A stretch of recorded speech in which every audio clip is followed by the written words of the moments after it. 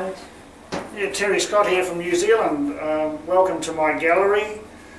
This is a piece I call a Midas piece, um, mainly because normally I insert gold leaf inside. This is a piece of Pacific yew. I normally take the leaves of the, the particular timber that I'm turning and then carve into my, my items. The proportions in my work is very important. It's all gauged on the um, magic mean, uh, one third, two thirds, or Fibonacci.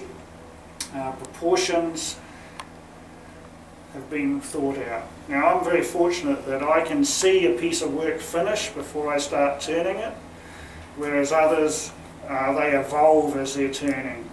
So that particular piece there, I can see it finish with the colour, the shape, and because of um, I've done my time on the tools, I don't have to worry about where my tool is, so I can create that shape. Um, all my pieces evolve. I used to do a lot of square pieces. They then evolved to what I call my manta ray series. They've either got wings up or wings down on them.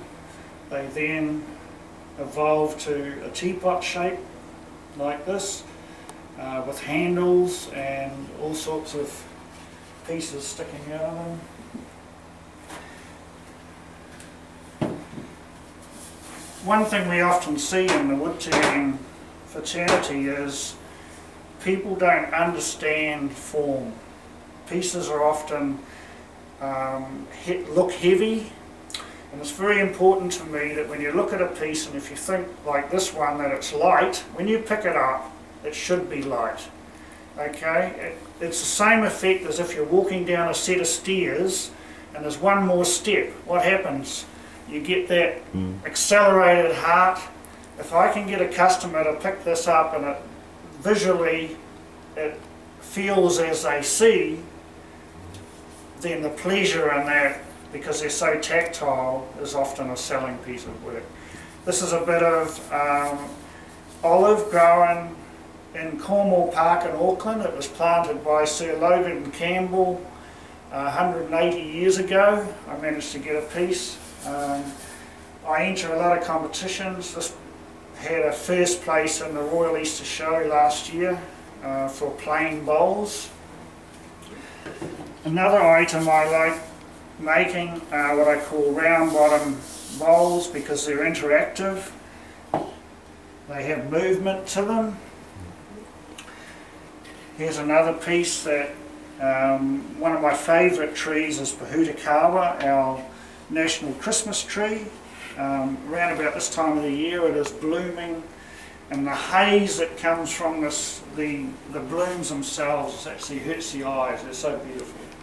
Uh, a lot of times taken in my work, I'll go over a piece like this 10 or 15 times until I'm happy and then put it on the shelf thinking I've finished it, walk past and take it back into my workshop again. Um, there's a lot of myself in my work. Like, I love turning Australian burl. This is a bit of brown mallee. I've developed a system that I, so I can turn them very thin with um, support rings. Tell, tell us about this one. Okay, this piece here is a bit of ancient kauri, um, 35,000 years old, dug out of a swamp just down the road from where we live here. I often take the grain of the wood and see if I can see a picture. In this case I saw a beach and the sea and the horizon. So I've just carved a small schooner in here and I think it's, it adds to the piece. Um, there's probably 12 hours just in this band and a few more on the back. I use inlay of tapa cloth, which is a cloth beaten from the mulberry tree bark in the Pacific Islands, and then lay it and stain it um, I enjoy making platters these are probably more corporate because they're large and they, they need to be walked around.